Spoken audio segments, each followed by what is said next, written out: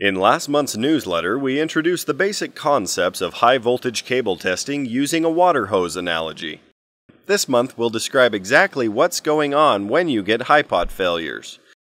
When a cable fails the hipot test, Cirris testers display one of three errors overcurrent, had leakage, or dielectric failure. What does overcurrent mean? All cables have capacitance between each of the wires. When one wire is charged up to a higher voltage, a small amount of inrush current flows from the wire being charged.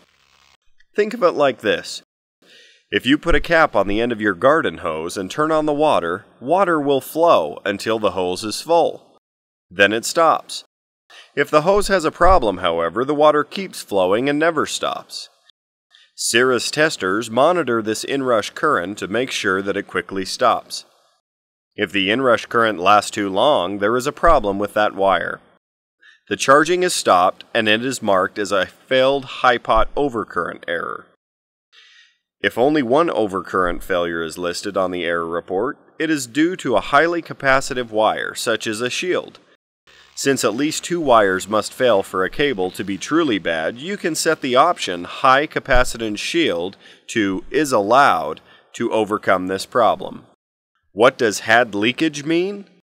Although wires in a cable are separated by insulation, if we put enough voltage on one wire while its neighbors are at zero volts, some small amount of current will leak through the insulation.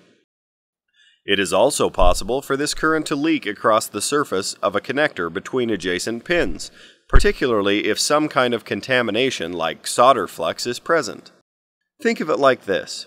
If your water hose had tiny weak spots or was leaky at the connection point, allowing a little bit of water to leak out as you turned the pressure up you would have to decide how much leakage you would allow before you call it a bad hose. In cable testing, this setting is usually specified in megaohms, or millions of ohms. For example, if you have a spec that requires a minimum of 100 megohms of insulation resistance at 1000 volts DC, using Ohm's law, the maximum amount of current that can leak from any wire before we call it bad is 10 microamps. When the amount of current leaking from the wire under test exceeds the acceptable level, as specified by you in your hipot settings, that wire fails the hipot test and is marked as had leakage. What does dielectric failure mean? Simply put, a dielectric failure is an arc. If you've ever been shocked by putting your finger near the screw of a switch cover, you've experienced a dielectric event. According to Paschen's law, at least 327 volts are required for electricity to arc in the air. In a cable assembly, it is most common for an arc to occur between two exposed pieces of metal that should be insulated. However, it is also possible for an arc to occur through the insulation. Think of it like this. In our hose, we crank up the pressure. All of a sudden, a weak spot fails and a lot of water suddenly squirts out. Since we are constantly monitoring the current flow, we quickly recognize this arc and shut off the water. That wire fails the hipot test, dielectric failure is indicated.